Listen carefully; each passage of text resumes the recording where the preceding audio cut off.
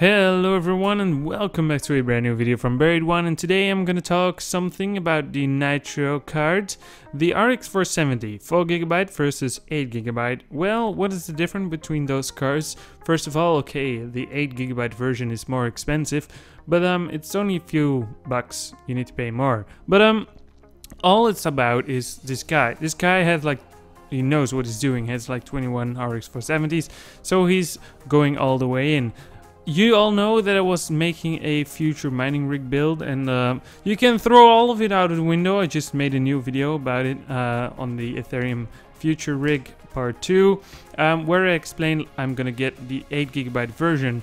Well, why am I gonna do this? I had some research on the internet and this guy showed that the 8 gigabyte version is confirmed to hit 25 megahashes and above. So that is very very good. It's even without overclocks.